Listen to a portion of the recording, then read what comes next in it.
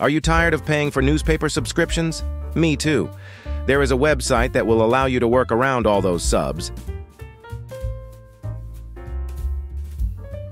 As you can see, I'm trying to browse an article, but I need to pay.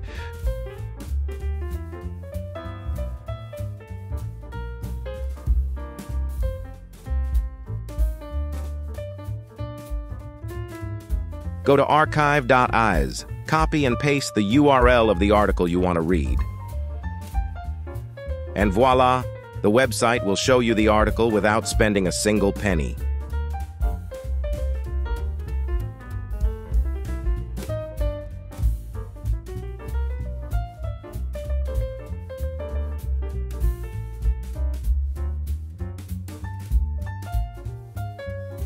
Here is another example.